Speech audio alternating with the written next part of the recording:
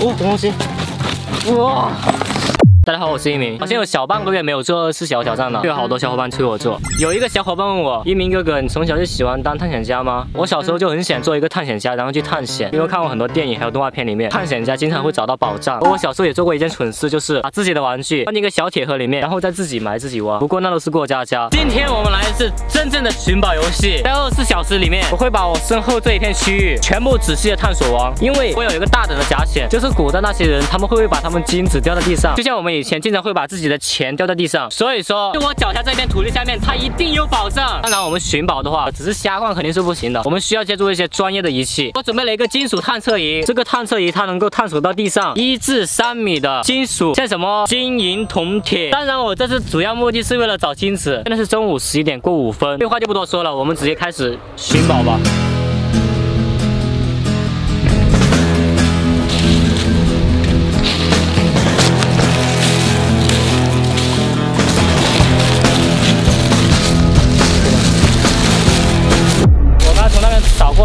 什么都没有。我现在正在这个小树林里面找，希望能在这里面找到什么好东西。终于探测到东西了，这块位置，哇，拿出来一个铁丝，我们继续吧。这个位置，什么东西啊？金色的。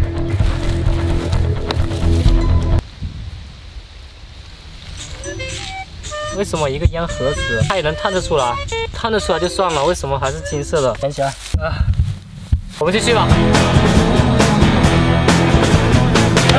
这里有东西。那个小铲子实在太小了，这样子一来效率太低，所以我们换了这个比较大的。这里有东西，这什么东西啊？一个铁，先收起来。继续。哇！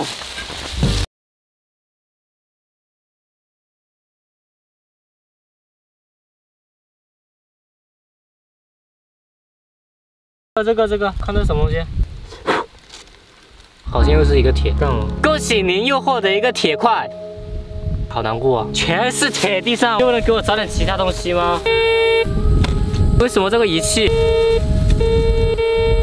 为什么塑料袋也会叫？收起来吧。又一个垃圾袋，我怎么感觉我在捡垃圾啊？又两个垃圾袋，是找什么？我就不信这一片区域全是垃圾，我必须得给你们掏个大宝贝出来给你们看。有句话叫做“功夫不负有心人”，一定能找到的。我们继续吧。现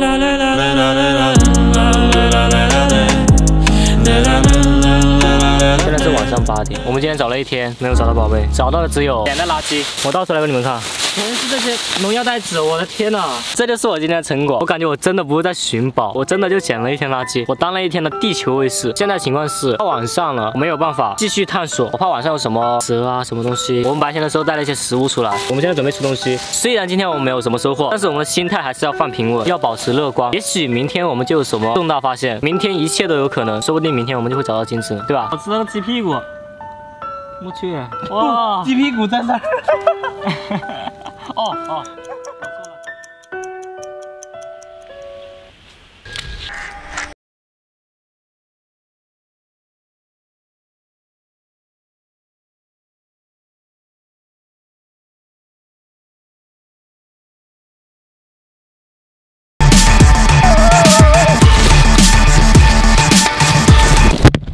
我操！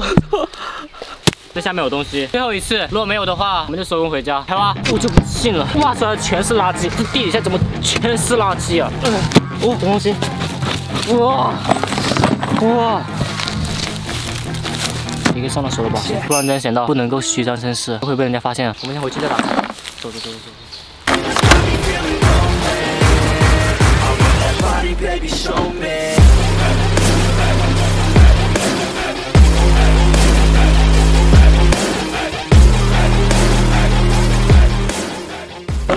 来了。我希望它里面是一些贵重的宝物。现在把它撬开，马上就可以见到里面的东西了。我把它打开了，